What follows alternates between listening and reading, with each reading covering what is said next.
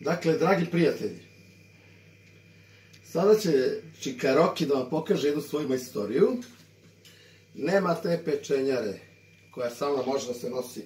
Molim vratite pažnju na rernu. Znači, bruka. Opekotine petog stepena. Vratite pažnju. Dakle, to je taj rad.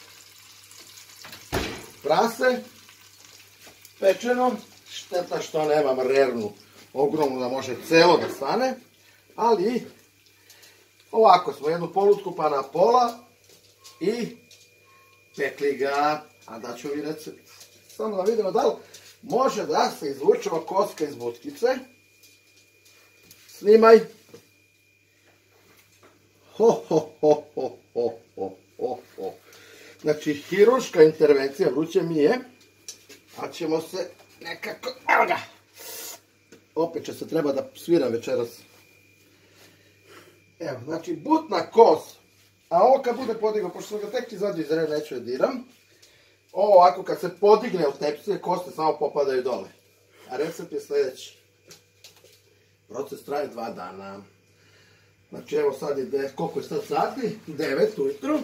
Sinoć je stavljeno prasa se peče u 10 uveče. Ali pre toga jedan dan mora biti usoljeno, lepo se nagruva solju onako. I onda se pusti 24 sata se odsedi. Kad se to završi, stavi se u rerno, recimo ako ćete za ručak prasu, uveč u 10 sati, okrenete ga na stotku, ne jače, evo pogledajte ovako, snimi ovde, zoomiraj ovde, znači na stotku se okrene i, i stavite ga da se peče, samo ga spustite u tepsiju, stavite ga da se peče i legnete da spavate.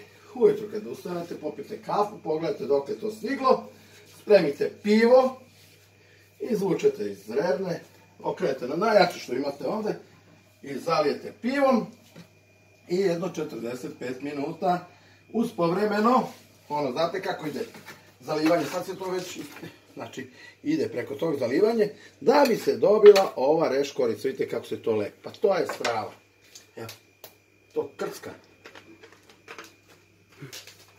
Znači, jedan dan se soli, 24 sata stoji useljeno, 12 sati se peče meso. I onda ispadne ovako. To pečenjarama nema, ni u samo kod mene. Hvala, čao!